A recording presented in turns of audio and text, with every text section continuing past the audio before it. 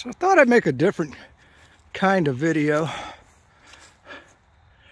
You know, they got these nice fields here in Lynchburg, but I don't see anybody playing on them. Now, I was going to show you the tennis courts. There are actually two people on the tennis courts. I mean, it's a whole different city than what I grew up in. And I tell you what, this uh, disc golf, I guess, or or frisbee golf, or whichever way you want to look at it, it has hit the, hit the vein here in Lynchburg. Everybody's playing it because the frisbee golf course is completely full. But the thing that baffles me, the baseball fields are empty. The soccer fields are empty. The basketball courts are empty. The tennis courts, you know, there's two people there, but I mean, most of the time when I come here for just to get a workout, they're empty. In case you're wondering, I'm back at Peaks View Park. I'm gonna get a picture of my dad's sign and I'm hoping to get some hiking done in the woods, but the daylight's getting away from me. I was, I was a little bit beat up after hiking the Appalachian Trail yesterday. So I just thought I'd come over here and just try to get a little bit of exercise, make a quick video, but just wanted to give you my observation. You know, it's a different world we live in, people. I mean, I can't believe, you know, we don't see people playing baseball. We don't see people playing basketball. Hell, we don't even see people playing, you know, flag football or touch football. But disc golf, it's uh, it's everywhere. I mean, our youth, uh, that seems to be the most popular thing, in, and it is in Florida too. It's very popular there. But I'm just surprised that every time I come here, I don't see anybody doing these things. Uh, or people, you know, I guess the new sport is also walking your dog. But anyway, let's uh, let's just tack on to the video here in just a second. So this is this is what I'm talking about. I'm just looking at it through the fence here. I mean, my job in the rec department is to mark these ball fields. This isn't even marked. That means they're not even playing baseball. Now, I understand it's kind of late in the season, but look over there. Nobody on that baseball field. You know, no parents out just teaching the kids how to bat. But if you look over here, people on the uh, on the disc golf course. So, uh, you know, nobody out playing flag football or nothing. And this is, you know, you're saying, well, that's just today. Well, I'm here quite often because, you know, it's it's really close to my house. And uh, it's a quick uh, quick workout for me. And, and they do have the, um, the outdoor um, uh, stations where I can do push-ups and uh, stretch and all of that stuff if, if I'm so inclined. Or try to do pull-ups, can't do pull I just sit there and try to get my toes off the ground.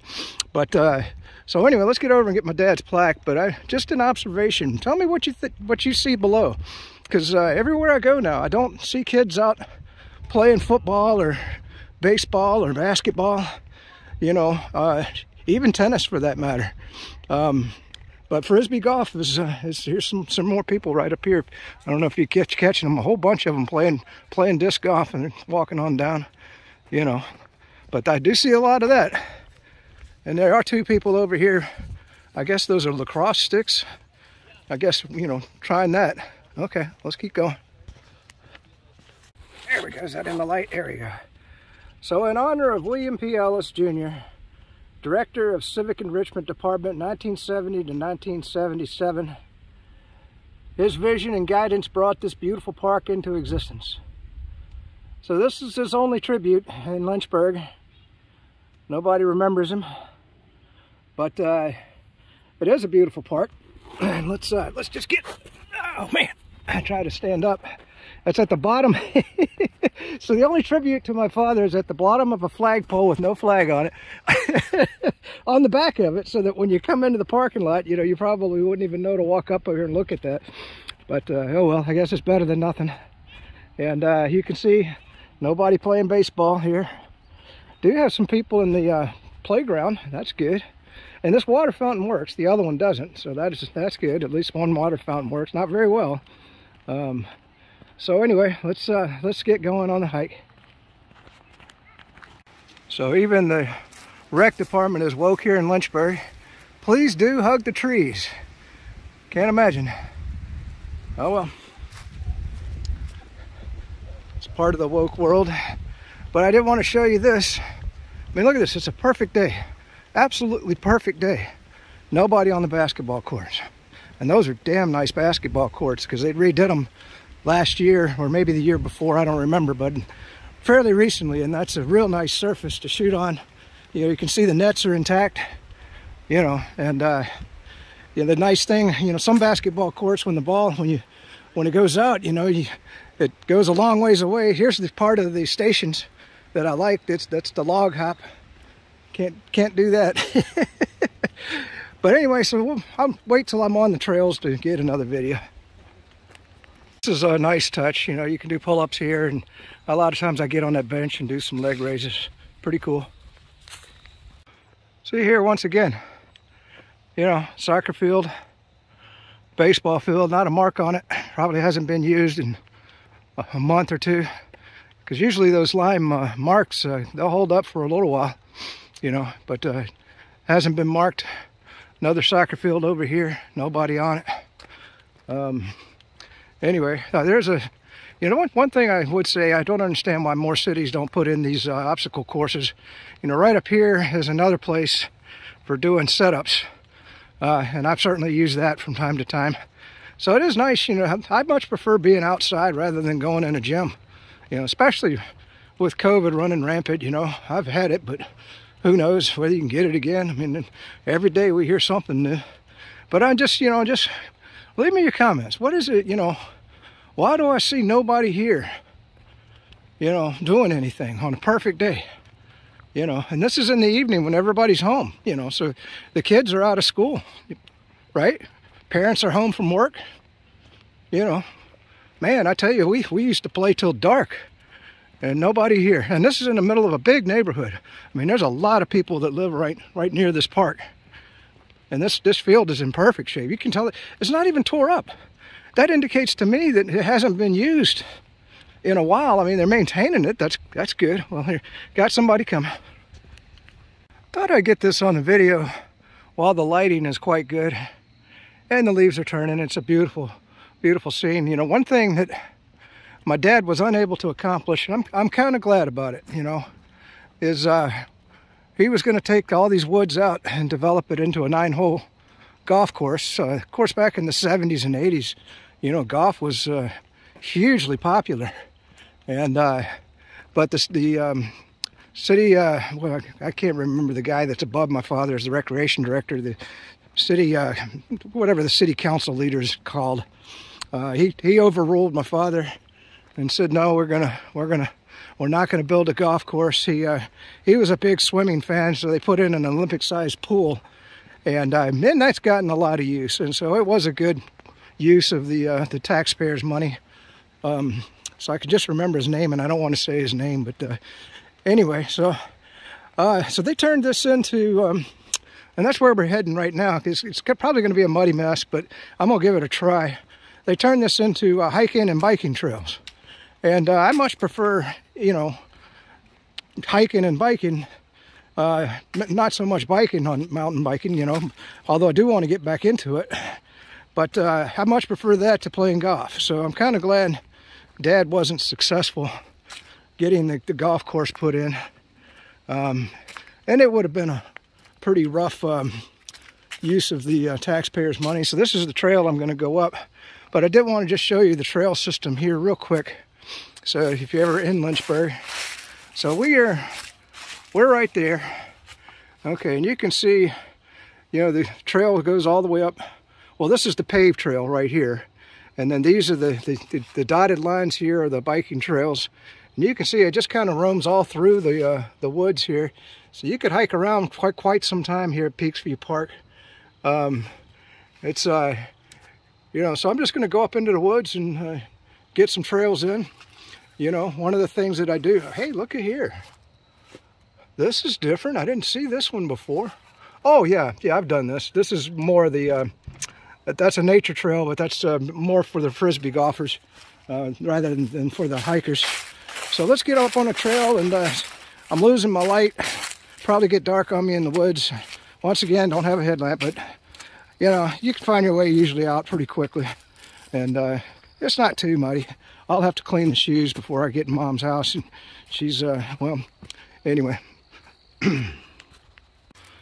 so because it is late, I'm just going to stay to the right which will keep me fairly close to the paved trail so that if it gets dark on me, I can get out. But you can see, you know, if you, if you go to the left, these trails wind all through here. I always love how they name the trails. That's, that's the Grapevine Trail. I've hiked that. And then you hear you got the uh, Slick Rock. That's where we're heading. And uh, so let's uh, let's just keep it keep it close to the bike path so that I can get out of the woods. But this is kind of what it looks like. You know, isn't this beautiful? What a what a natural resource for Lynchburg, Virginia, that they have. You know, keeping keeping this forested and uh, and just cutting trails in here. You know, it's uh, and especially you know if you're a mountain biker. I mean, this is a, quite a challenge getting back in here. Uh, I couldn't do it. And maybe when I was young, I could have. I mean, I did do some crazy trails when I was at Battle Creek, but uh, you can just kind of see the trail um, winding around, and it's beautiful out here. Uh, you know, that's uh, that's it. If I see anything interesting, I'll tack on, but this video is long enough. So, uh, peace out. Be free. You know, I'll do the mantra. Freedom, oh freedom. Good to be from the free Republican state of Florida, where we have no jabs, no mandates, no lockdowns, no masks, because we're free to come and do as we please. And if you're a Democrat, go to New York, you'll be welcome there. Go to California, but don't come to Florida. Peace out. I realize that I yammer too much. I'm just going to be quiet let you enjoy a little bit of the hike.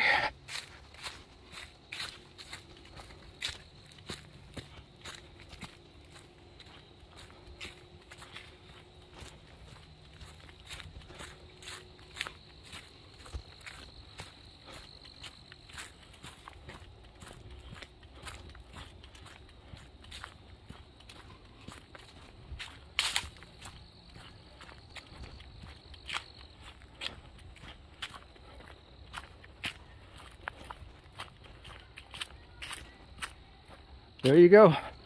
Hope you're enjoying this as much as I am. Well, I'm sure you'd rather be here than anywhere else in the world. I'm sure, sure am loving it. Perfect weather. Perfect weather. Oh my goodness. See what I mean? Isn't this, isn't this gorgeous the way they cut this in and the way it winds around? All right, that's it, I promise. I don't think there's going to be anything more to really show you on the on the video or anything unique anyway. You know, one thing I am going to look into, I assume these walnuts are edible. You know, I, I, I'm like just a city slicker. I always just buy them at the store, but I'm seeing walnuts everywhere I go. I'm going to get on YouTube, or not on YouTube, but on YouTube maybe, or on a channel and try to figure out how you, you know, gather up or what, what walnuts to look for. Do you want the dark ones? Do you want the green ones? You know, uh, what does it take to shell them? You know, isn't that sad? I don't even know how to do that. So here you go. We got something over here. Oh, it's just a squirrel, I think. Let's see. No, that's a deer. Holy moly. Boy, did I start filming at the right time. Hopefully you're seeing him. He's looking at me. At least just a young guy. Can you see him? He's right in there in the trees. I got his head I'll try to get a little closer. Let's see if he, he spooks. Can you see him? There he goes. Let's see if we get him going across the trail. I'm gonna go, let's go see where he went. I don't see him no more. Well, that was cool. Man, I, I thought, usually when I hear something, it's usually a squirrel, you know. but that was cool. Boy, he's gone. I, they're quick, man. Magnificent animals. Magnificent animals. So you see what I mean? You could really hike around back here. Now there's no sign, but I, like I said, I want to stay to the right, so I'm close to the paved path. I assume this is a trail. I don't know. It's a little bit, a little bit narrow, but uh, it'd be easy to spend the whole day back here, just hiking around. You know, that uh, I just wanted to show you that fork there. There's some more, some more walnuts. So, uh, yep, got to figure figure that out. Maybe, maybe, oh here, this is just going back to the bike path. All right, so let's go take that other fork.